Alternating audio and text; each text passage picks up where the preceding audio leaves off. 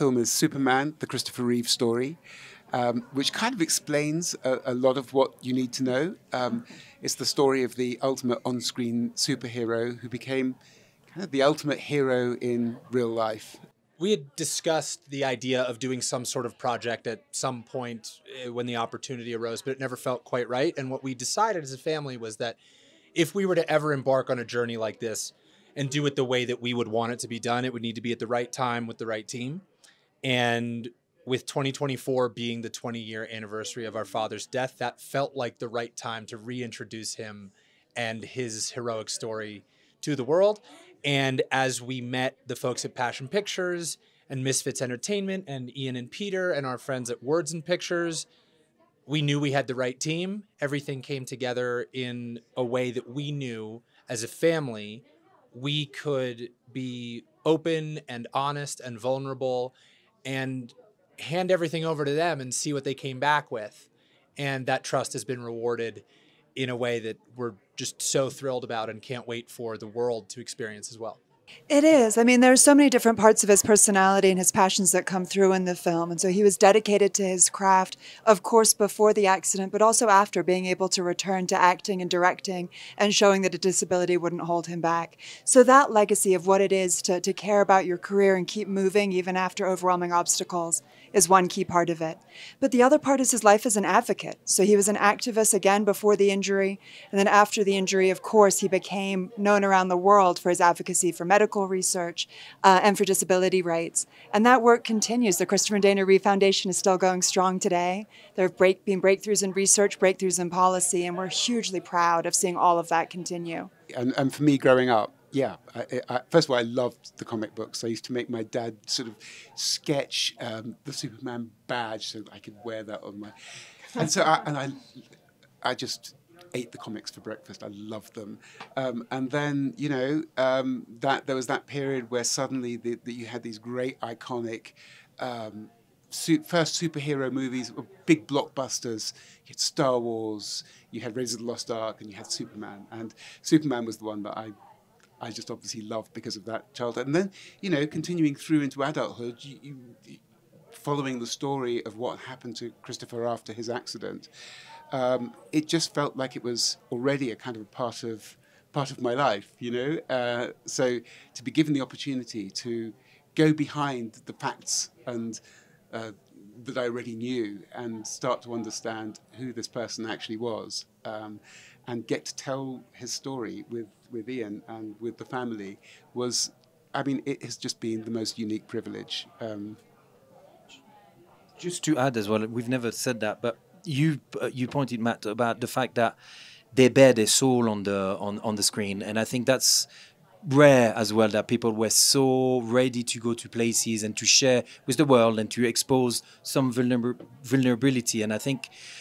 if you want to get close to an icon and a person, you need people to accept to share and to let you in their own life because you know it's their legacy. Christopher lives through those uh, three lovely people. So I think that you know, I want to point out again that the film would not have been what it is without them, the trust they give us, but as well, you know, sharing all of this. It wasn't, you know, without Matt having shot all of those, he made two films uh, about Christopher recovering, and we could use that um, after the accident. We could use that footage. So there's a lot of things from those three individuals who ended up in the film, which gets you the closest possible to Christopher Reeve. And we love saying that, you know, the three of them encompasses something. You have the artistic, you have the advocacy, and you have the entertainment. And all of them, when we first met them in New York in the restaurant, when you guys left, we were like, oh my God, Matt is, Matt's the artist. You know, it was like so clear, all of them. You could merge them and get. So you get Christopher by these three individuals.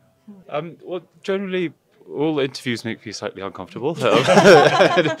um, and being except for this one, uh, being on, on camera and all that. Um, so besides that, um, it was, you know, I think we all agreed when we um, decided that this is something that we wanted to do, um, that we would put it all out there, that we would we would tell his story from our perspective, we would tell our story and our experiences um, with him.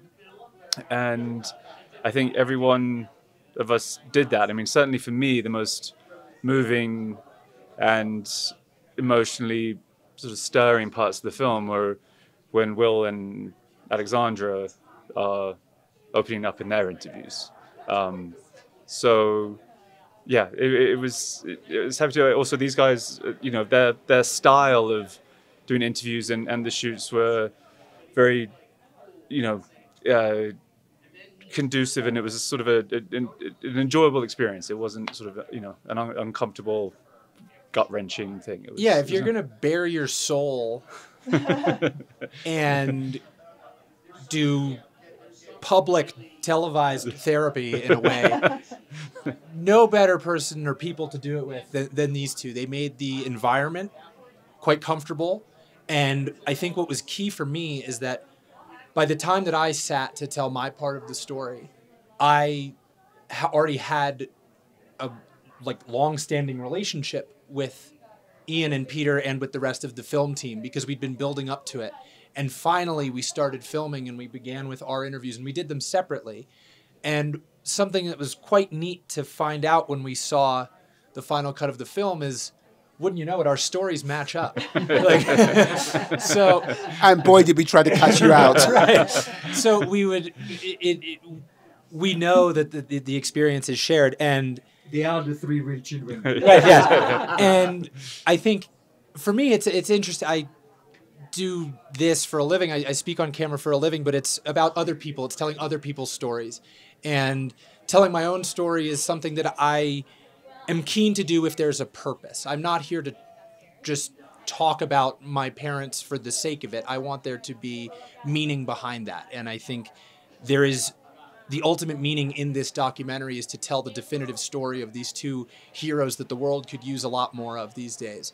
And to share my personal experiences. As it turns out in the film, there's a, a lot of crying. Yeah, I've been through I've been through some hard times. I think we left all the funny bits on the on the cutting room floor, gents, but that's okay.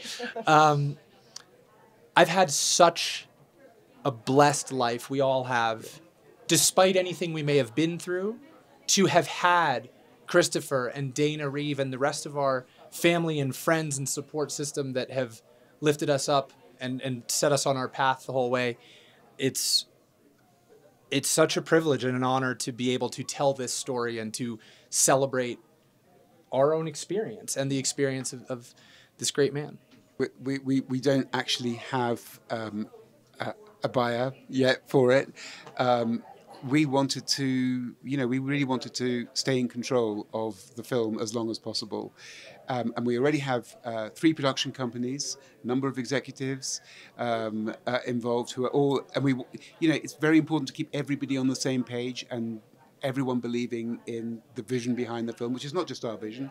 It's these three. It's it's everyone we work with on the team, um, and uh, and we just felt it was best to keep the film in our own hands for as long as possible. And uh, yeah, that's where we are now. So we'll see what happens at, at the end of Sundance. Hand over the mic. I think it's very important to find the right people. You know, the the narrative out there uh, in our industry. There's there's people. There's loads of places to for films to happen. But you know, he's a movie star. He's you know he's he's. He's, it's a big IP. It's a big character. We try to do justice visually. The music from Ilan Eshkeri, the the the the the great work from Passion Pictures, um, CGI. Um, everything is really, you know, you mentioned McQueen before and Rising Phoenix. That's, you know, we try to move to make cinema. We use the, the tools of documentary filmmaking, but for us, it's a cinema experience. There's the there's the clue in it, cinema. So uh, there's, you know, the, the three of you, we, we talk about it. There's, we need to do justice to this story, and I think, you know, we'll work with the people we are ready to make justice with this story.